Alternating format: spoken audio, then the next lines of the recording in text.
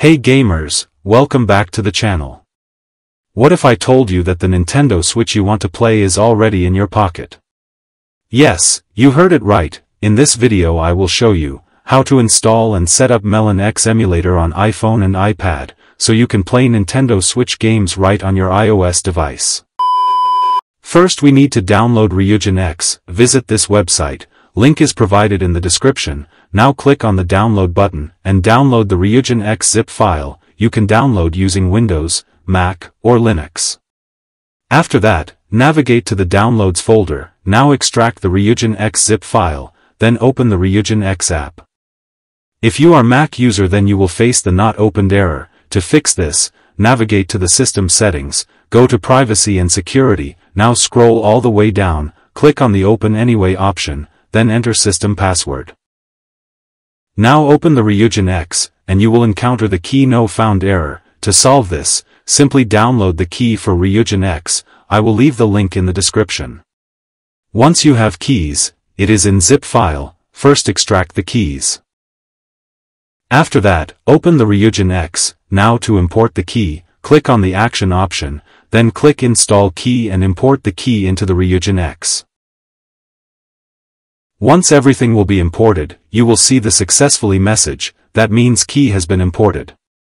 Now final step is, click on the file option, then hit open Ryujin folder, here you will see the BIS, and system folders, these two folders are essential for Melon X to run on iPhone and iPad, first we have to compress these two folders, then simply share it to your iPhone and iPad via AirDrop, Mail, and WhatsApp.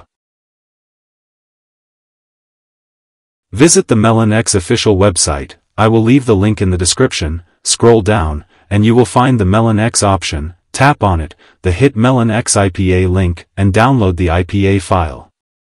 After that, go back to previous page, then download the Entitlement App IPA file on your device.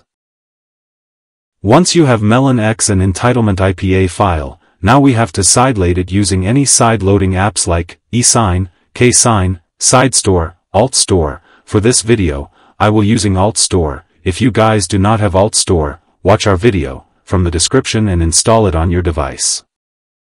Open the Alt Store, go to My Apps section, and sideload Melon X and Entitlement IPA file simultaneously, because Entitlement app is used to increase memory limit. Once you installed both app, now check the Melon X app, and get more RAM app open successfully.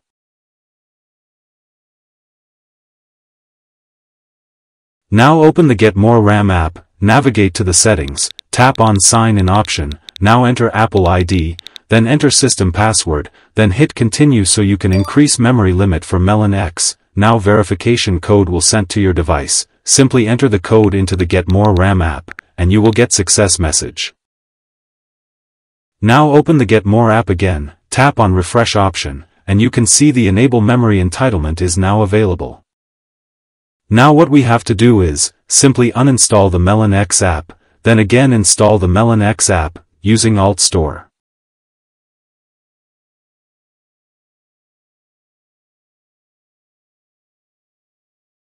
Now we have to import key into the Melon X, share the BIS and system folder that we compressed, then navigate to the Files app and locate the BIS and system file, select it, then hit Move option, now go to the Melon X folder, into the On My iPhone, then paste the BIS and system zip file into the Melon X folder.